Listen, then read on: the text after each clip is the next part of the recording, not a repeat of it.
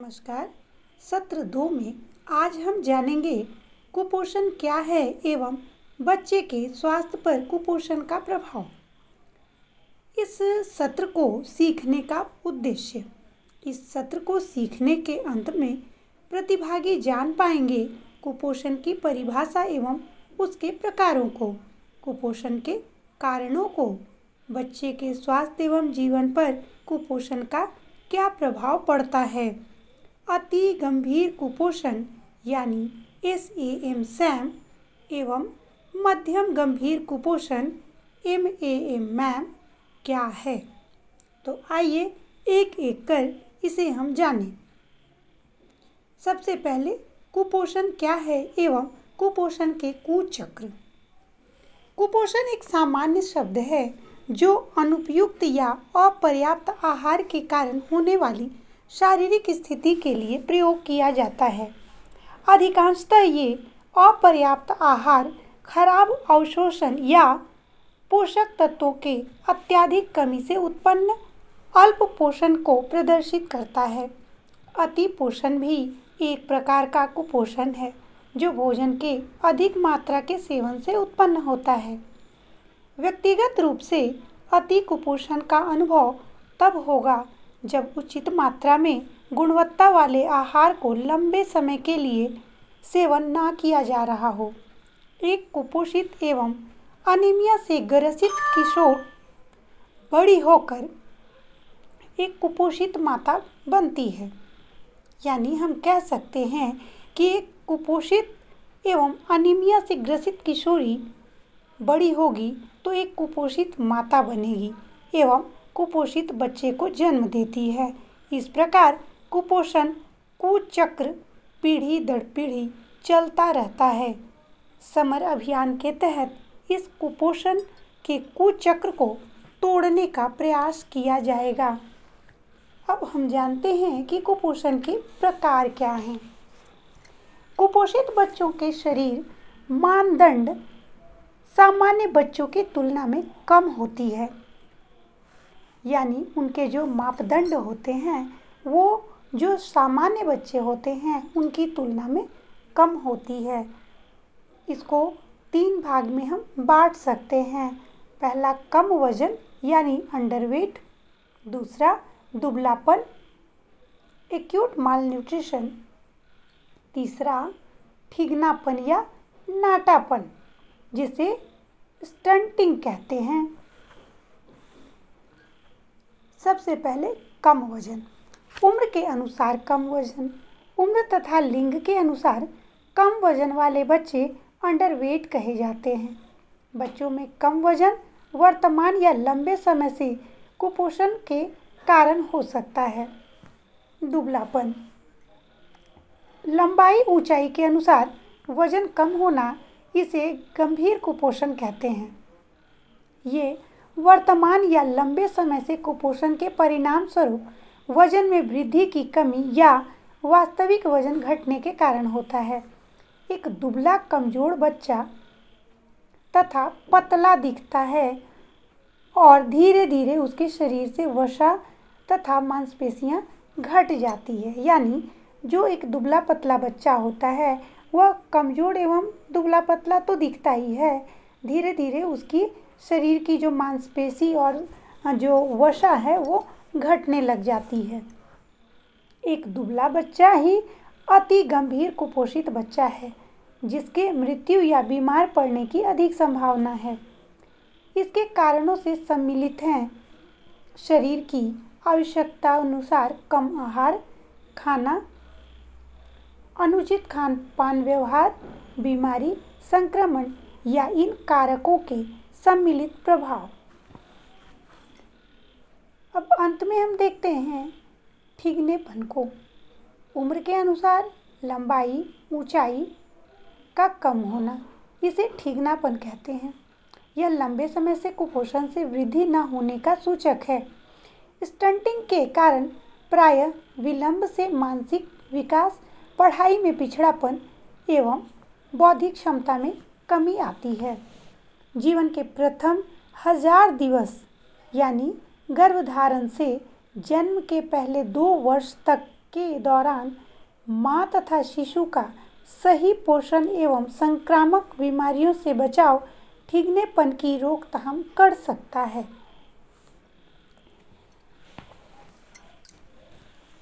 अब हम देखते हैं कि कुपोषण के प्रमुख कारण क्या हैं। तो इसके भी तीन कारण हैं। तात्कालिक कारण, अप्रत्यक्ष कारण एवं अन्य कारण. तात्कालिक कारण में भोजन की अपर्याप्त उपलब्धता व खराब अवशोषण, अपर्याप्त आहार का सेवन एवं संक्रमण या फिर रोग का होना. अप्रत्यक्ष कारण, माताओं और बच्चों के लिए अपर्याप्त देखभाल, अपर्याप्त स्वास्थ्य सेवाएँ और अस्वास्थ्य वातावरण साफ़ सफ़ाई की कमी। अन्य कारणों में अपर्याप्त शिक्षा, आपातकालीन स्थिति, उदाहरण, बाढ़, सूखा तथा भूकंप आदि। आर्थिक संरचना या संसाधन।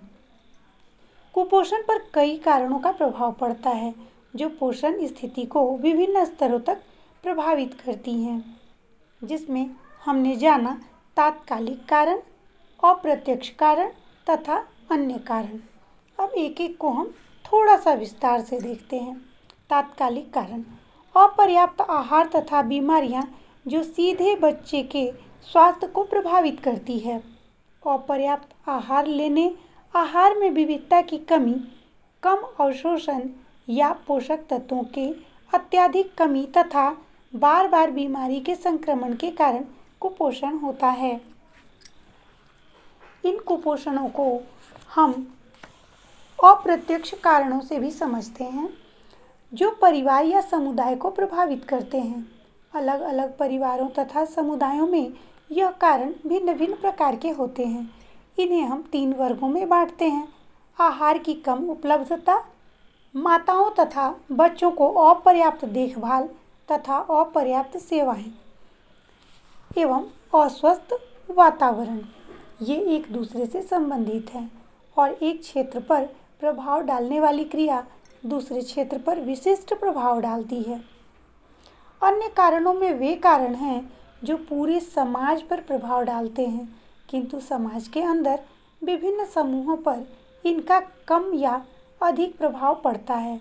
इसके अंतर्गत निम्न कारण हैं, जैसे आर्थिक कारण, जिसमें भोज्य पदार्थों की मूल्य वृद्धि राजनैतिक, सामाजिक एवं आर्थिक कारण जैसे गरीबी, समाज में निम्न स्थान तथा सामाजिक बहिष्कार। वैचारिक कारण जैसे संस्कृति एवं परंपरागत आदतें और अन्य आपातकालीन कारक जैसे बाढ़, सूखा तथा भूकंप आदि हैं। जन्म के समय कम वज़न, आहार की मात्रा, विविधता, बारंबारता और आहार देने के गलत तरीकों के कारण बच्चों के कुपोषित होने की संभावना अत्यधिक बढ़ जाती है। वास्तव में कुपोषण और संक्रमण एक साथ होता है। कुपोषण के कारण बच्चे की रोगों से लड़ने की क्षमता घट जाती है और संक्रमण की संभावना बढ़ जाती है। संक्रमण के कारण बच्चे को भूख तथा खाने की इच्छा कम हो जाती है। शरीर में पोषक तत्वों की आवश्यकता बढ़ जाती है और पोषक तत्वों का अवशोषण कम होता है जिसके कारण बच्चे की पोषणात्मक स्थिति और दयनीय हो जाती है। इस प्रकार बच्चा एक दुष्चक्र में फंस जाता है। एक कुपोषित बच्चा जिसकी रोगों से लड़ने की क्षमता कम होती है, वह अधिक समय तक बीमार रहता है और कुपोषण की गंभीरता और अधिक बढ़ जाती है तथा रोगों से लड़ने की क्षमता घट जाती है और यह दुष्चक्र चलता रहता है और इसे ही हम कुपोषण तथा संक्रमण का दुष्चक्र कहते हैं। बच्चे के स्वास्थ्य एवं जीवन पर कुपोषण के क्या प्रभाव होते हैं, अब हम इसे देखेंगे। कुपोषण के कारण बच्चे के जीवन और स्वास्थ्य पर पड़ने वाले प्रभाव। कम शारीरिक वृद्धि, कम बौद्धिक विकास, संक्रमण एवं मृत्यु के जोखिम में वृद्धि। पाँच वर्ष से कम उम्र के बच्चों में होने वाली मृत्यु के कारणों में कुपोषण का अत्याधिक योगदान है, क्योंकि कुपोषित बच्चों में बीमारी का संक्रमण होने की अधिक संभावना होती है। अतः बार बार बीमार पड़ते हैं और उन्हें पुनः स्वस्थ होने में काफ़ी समय लग जाता है। सामान्य पोषण स्थिति वाले बच्चों की तुलना में कुपोषित बच्चों को सामान्य बीमारियाँ जैसे दस्त, निमोनिया आदि से लगभग 9 से 11 गुना मृत्यु का खतरा अधिक होता है। अब हम जानते हैं सैम और मैम के बारे में कि ये क्या है। ए सेम सैम यानी अति गंभीर कुपोषण। मैम यानी मध्यम गंभीर कुपोषण। गंभीर कुपोषण को दो श्रेणियों में वर्गीकृत किया जाता है, सैम और मैम।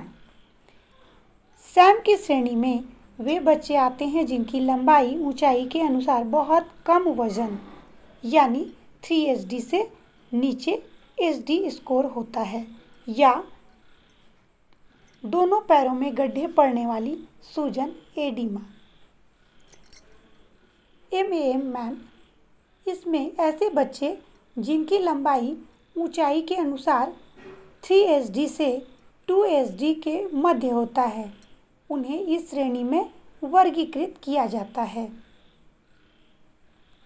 अति गंभीर कुपोषित बच्चों पर तुरंत ध्यान देने की आवश्यकता क्यों है?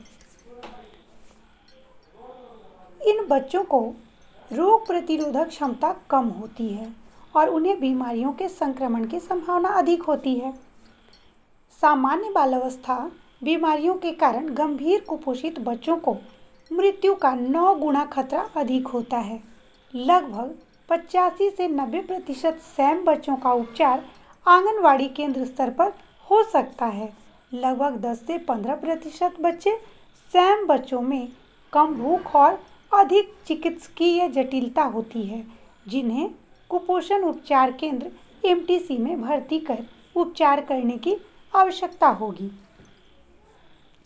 अति गंभीर कुपोषित बच्चों का आंगनवाड़ी स्तरीय विशेष उपचार केंद्र आधारित देखभाल एवं प्रबंधन कार्यक्रम क्यों आवश्यक हैं? अब हम इसे जानते हैं।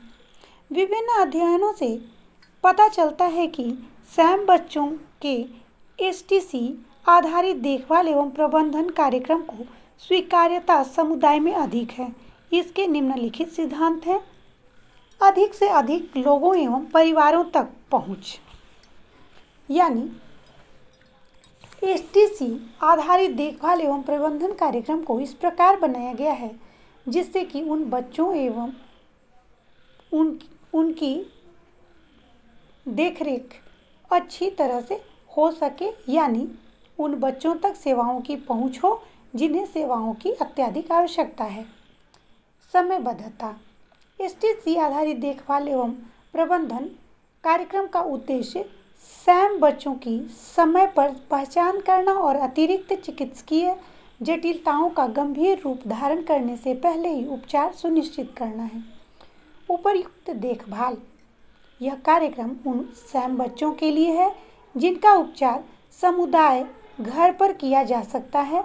उन्हें सरल, प्रभावशाली तथा बिना एमटीसी में भर्ती किए हुए सुलभ देखभाल उपलब्ध कराता है और उन सैम बच्चों को समय पर पहचान कराता है, जिनको चिकित्सकीय यानी एमटीसी में भर्ती होने की आवश्यकता होती है।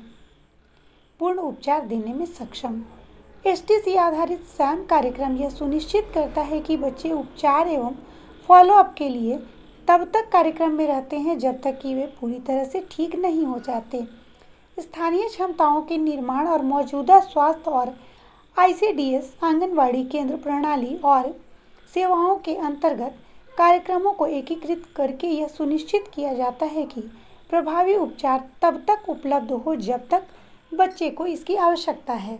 इसके अतिरिक्त सैम का एस आधारित प्रबंधन कार्यक्रम अन्य कार्यक्रम के साथ एकीकृत है, जिसके अंतर्गत रक्षण, प्रोत्साहन, स्तनपान, पूरक आहार एवं साफ़ सफ़ाई आदि के लिए स्वास्थ्य शिक्षा शामिल है। अब हम यह जानते हैं कि अनीमिया क्या है तथा बच्चे, किशोरियों, युवतियों, गर्भवती एवं धात्री माताओं में इसका क्या प्रभाव होता है? हीमोग्लोबिन हमारे खून में पाया जाता है और हमारे शरीर में ऑक्सीजन पहुंचाता है। खून में हीमोग्लोबिन की मात्रा एक स्तर से कम हो जाना अनीमिया कहलाता है। इसके प्रमुख लक्षण हैं, त्वचा, चेहरे जीव एवं आँखों में लालिमा की कमी। काम करने पर जल्दी ही थकावट हो जाना, सांस फूलना या घुटन होना, काम में ध्यान न लगना और बातें भूल जाना, चक्कर आना, भूख न लगना, चेहरे और पैरों में सूजन। खून में हीमोग्लोबिन की कमी को अनीमिया कहते हैं। अनीमिया एक स्वस्थ परिस्थिति है जिसमें लाल रक्त कणों की संख्या अथवा उनके ऑक्सीजन वहन करने की क्षमता शरीर की जैव क्रियाओं की आवश्यकताओं को पूरा करने के लिए अपर्याप्त हो जाती है। अनीमिया भी बुखार की तरह एक अभिव्यक्ति है। यह कोई बीमारी नहीं है। इसका निवारण और उपचार किया जा सकता है। झारखंड राज्य में सभी लक्षित समूहों में अनीमिया की व्यापकता एक गंभीर समस्या है। N F H S five दो हज़ार उन्नीस से 21 के अनुसार झारखंड में 6 से उनसठ माह आयु वर्ग के सड़सठ पॉइंट पाँच प्रतिशत बच्चे पंद्रह से उनचास वर्ष आयु वर्ग के लगभग दो तिहाई, यानी पैंसठ पॉइंट तीन प्रतिशत महिलाएँ, पैंसठ पॉइंट आठ प्रतिशत किशोरियाँ, पंद्रह से उन्नीस वर्ष की, और छप्पन दशमलव आठ प्रतिशत गर्भवती महिलाएँ अनीमिया से पीड़ित हैं। इस प्रकार हमारा आज का सत्र दो समाप्त होता है। यदि यह वीडियो आपको अच्छी लगी हो, ज्ञानवर्धक लगी हो तो इसे अधिक से अधिक शेयर करें और लाइक करें एवं अपने कमेंट कमेंट बॉक्स में लिखें। अगले वीडियो में सत्र तीन पर हम बात करेंगे और आप इंतज़ार करें अगले वीडियो का।